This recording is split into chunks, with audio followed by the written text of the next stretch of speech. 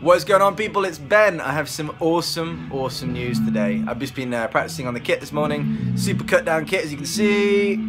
Uh, just doing some technique stuff and yeah, good fun. But look, wicked news. The Toska EP.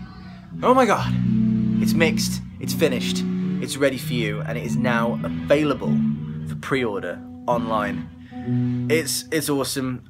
I'm really proud of it. I'm really proud of what the guys have done mixing it. It just sounds sounds great. So I can't wait for you to hear it. And basically, we just want you to have it for whatever you think it's worth. We were chatting about it. We were like, look, let's just let's just put it up for the minimum we can list it on Bandcamp is 50p, 50 pence of your British pences. Uh, if we could put it for 1p, we would, but minimum is 50p. That's just the way Bandcamp works.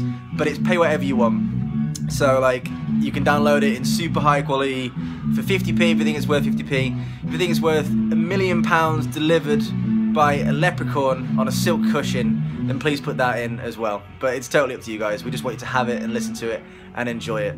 So I can't wait to hear what you all say about it.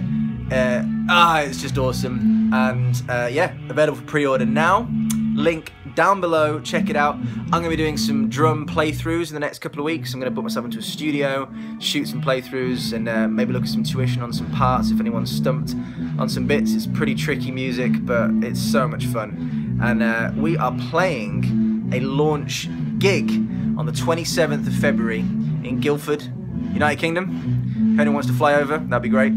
Uh, at the Boiler Room in Guildford, 27th of Feb will be the official launch party. We'll have physical copies there as well and some awesome merch.